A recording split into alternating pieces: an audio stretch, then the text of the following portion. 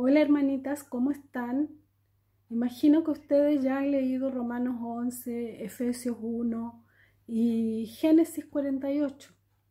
Entonces, de estos pasajes quiero compartir con ustedes una meditación eh, que ha venido a mi mente cuando he leído nuevamente este capítulo de Génesis. Eh, se trata del día en que Jacob en su lecho ya a punto de morir, manda a llamar a los hijos de José para bendecirlos a ellos también antes de que él muera. Y mm, dice la escritura que él ya estaba bastante ciego, que no distinguía muy bien. Y él llama a los hijos de José y le dice a José, eh, estos dos hijos tuyos que nacieron en la tierra de Egipto van a ser míos. Son míos, le dice, y míos serán. Em, y luego, estando en el cuarto, ¿cierto? José había llevado a sus hijos eh, para la bendición y Jacob dice, ¿y estos quiénes son? Entonces José le dice, estos son mis hijos. Eh, los que me nacieron acá en Egipto, le dice, antes de que tú vengas a esta tierra. Entonces Jacob dice, ah, sí, sí, dice, eh, acércalos para que los bendiga. Y se acostumbraba a poner la mano sobre la cabeza eh, de la persona que se iba a bendecir. Si era más de uno, la mano derecha iba en el más importante y la mano izquierda en el menos importante. En este caso, la mano derecha sobre el primogénito y la mano izquierda sobre el otro hijo. Sin embargo, eh, Jacob pone las manos cruzadas, de modo que la bendición principal se la da a Efraín y la otra bendición no tan importante se la da a Manasés. Sin embargo, eh, podemos observar que a pesar de que José se molestó y le dice, Padre mío, así no, porque este de acá es el mayor, eh, Jacob le dice, sí lo sé, le dice, eh, pero este va a ser mayor que su hermano, por eso he puesto adrede mi mano derecha sobre el menor. Del pasaje podemos ver que ninguno de los dos hijos eh, comentó nada. Tampoco tenemos ningún relato que diga que hubo algún tipo de disputa entre ellos acerca de esta bendición, como la hubo eh, cuando el propio Jacob robó la bendición, ¿cierto?, de su hermano Esaú a su padre Isaac, que también se encontraba bastante ciego. Eh, cuando Jacob hace esto, le dice que él no los puede ver bien, sin embargo después dice sí, sí los veo. Em, posteriormente él les da la bendición. ¿De qué se trataba la bendición? En el versículo 16 dice que para que su nombre sea eh, perpetuado, recordado, ¿cierto? Y se tenga memoria de su padre Isaac y de Abraham y al final en el versículo 20 dice que todo Israel cuando bendiga, o sea, se refiere a todo el pueblo de Israel, porque él mismo era llamado Israel, sin embargo, él hace una profecía y dice que Israel bendecirá en el futuro diciendo, em, así, te haga Dios como a Efraín y a Manasés.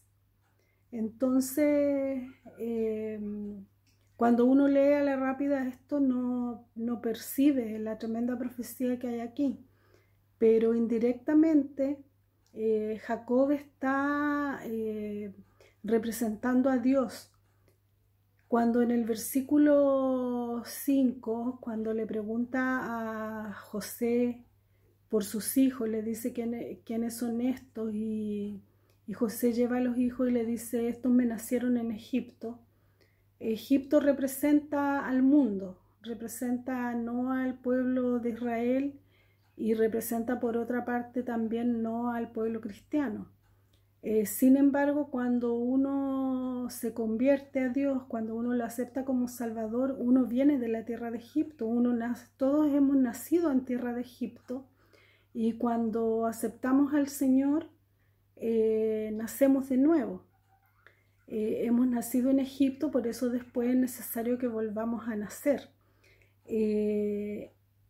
y Jacob en este papel representativo de Dios, él dice, estos míos son, eh, refiriéndose a que también de la tierra de Egipto iba a traer hijos para sí, porque dice, dice, estos míos serán igual como lo son Rubén y Simeón, que era el hijo mayor de él, ¿cierto? Nombra a los dos porque Rubén representa al, en este caso a Jesucristo, su hijo primogénito, Dice que lo hizo el primogénito entre muchos hermanos.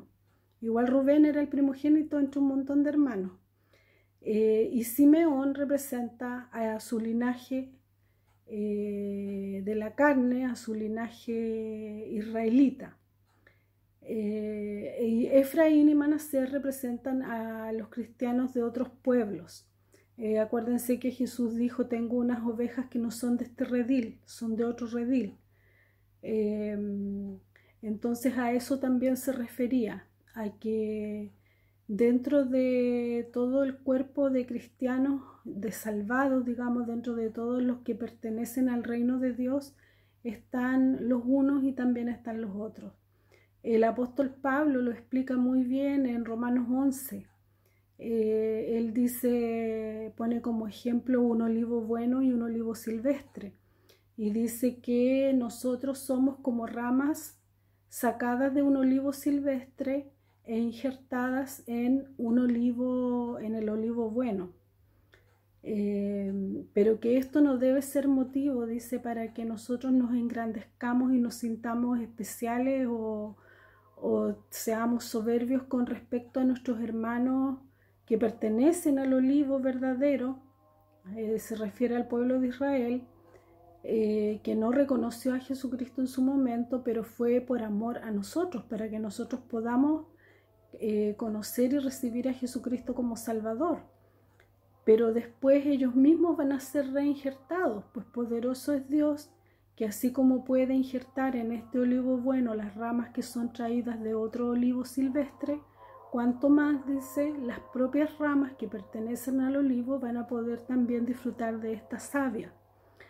Em, dice que no nos vanagloriemos y no nos sintamos más que el otro, porque también esa fue la actitud de Efraín y Manasés. Ellos no se pelearon ni se discutieron cuando Jacob le dio la bendición, ni porque bendijo a uno más que al otro. Y tampoco tenemos un registro de que los otros hijos de Jacob eh, hayan reclamado porque él los trajo y los adoptó. Eh, de este espíritu de adopción es el que encontramos en Efesios 5, donde dice que, eh, Efesios 1.5, donde dice que el Señor, Dios Padre, nos predestinó para que seamos eh, hijos adoptados, para que seamos sus hijos, tal como los otros, también nosotros seamos hijos de Él.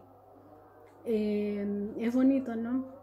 Y, en estas fechas de fin de año y fechas de cumpleaños de él y de la señora Mónica y de otras personas que conozco, eh, pensando yo en cuál es un bonito, un bonito deseo para decirle, porque normalmente decimos feliz cumpleaños, que lo pases bien, que se te cumplan todos los deseos. Eh, sin embargo, aquí hay una bendición eh, que es hágate Dios como a Efraín y como a Manasés. Qué más bonito que nosotros podamos desear esto para nuestros hijos, para nuestra familia y para la demás gente, para aquellos que deben aún convertirse, aún llegar al conocimiento del Señor.